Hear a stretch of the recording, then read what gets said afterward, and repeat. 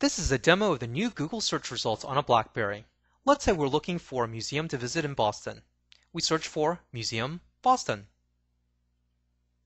On the results page, we see a number of listings for the Fine Arts Museum, the Children's Museum, and the Science Museum. To place a call, just click on the phone number. To get more details, say here for the Museum of Science, click on the link.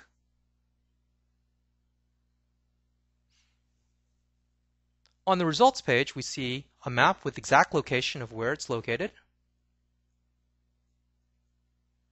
as well as information on the operating hours, and detailed ratings and reviews.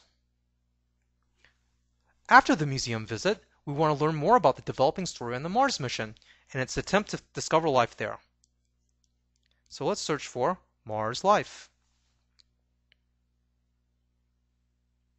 These results show related images, websites, and news articles. To see even more news articles, click on the news results link. And you're taken to a news site with a collage of related articles and images. This concludes our demo. Go ahead, try it yourself. Simply go to google.com on your phone browser.